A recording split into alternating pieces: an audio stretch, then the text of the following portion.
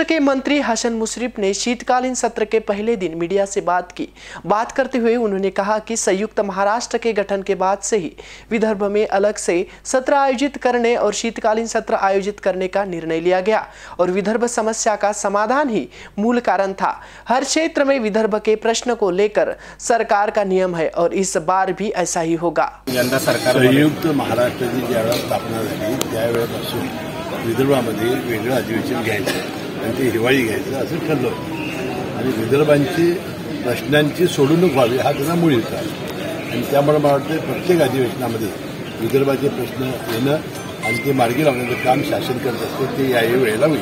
यापूर्वी दिलेली मदत आणि पुढे देणारी मदत एनडीआरएफ एस डी आर एफच्या दुप्पट निकषाप्रमाणे आणि दोन हेक्टरच्या ऐवजी तीन हेक्टरपर्यंत मदत आम्ही दिलेलीच आहे.